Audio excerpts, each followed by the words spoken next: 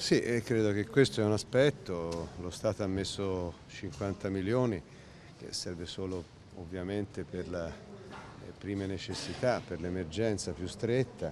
Noi come Regione abbiamo deliberato come Regione Toscana un milione e abbiamo anche aperto un conto corrente su cui insieme all'Anci della Toscana su cui anche altri comuni daranno un contributo.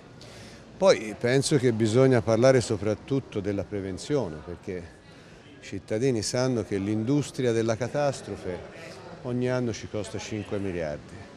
Se spendessimo a mio parere 10 miliardi di cui 5 nella prevenzione per la sicurezza sismica e 5 per la sicurezza idrogeologica nell'arco di dieci anni avremmo cambiato la realtà della sicurezza del territorio nel nostro Paese.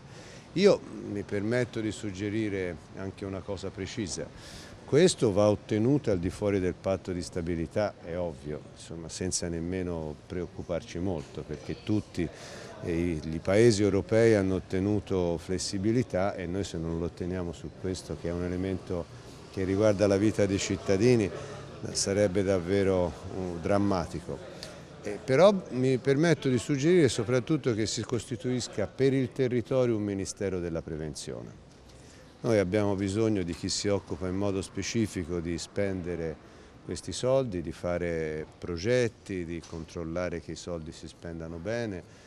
Eh, secondo me lo Stato del Paese sul tema della sicurezza in un territorio fragile per la sismica, in un territorio dove anche a causa di tante scelte sbagliate dal punto di vista idrogeologico si è sempre soggetti a alluvioni, a calamità ogni anno, un Ministero per la prevenzione sul territorio sarebbe la necessità. Dotiamolo di 10 miliardi, facciamo questi investimenti pubblici, poi naturalmente eh, questo sarebbe anche oggettivamente un impulso positivo all'economia, eh, sono centinaia di migliaia di posti di lavoro in modo stabile perché durerebbero dieci anni, è una sfida alla politica perché riguarda anche la democrazia, se lo Stato non garantisce la sicurezza come potremo noi ripresentarci tra qualche anno, forse addirittura potrebbe avvenire prima con un altro disastro e ripetere sempre le stesse cose. Ora io credo che qui c'è davvero la necessità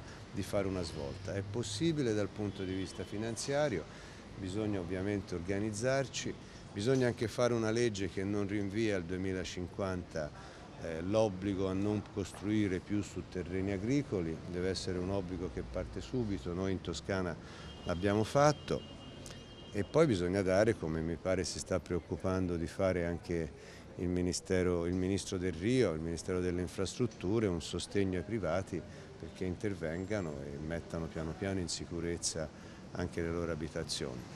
Credo che il modo giusto insomma, è, è, certo intervenire, ricostruire la scelta di Errani, insomma, io lo conosco, è il migliore per affrontare un tema come questo, quindi ha fatto benissimo Renzi, ma se non parliamo anche della prevenzione credo che faremo solo una parte del nostro dovere. Grazie. Grazie.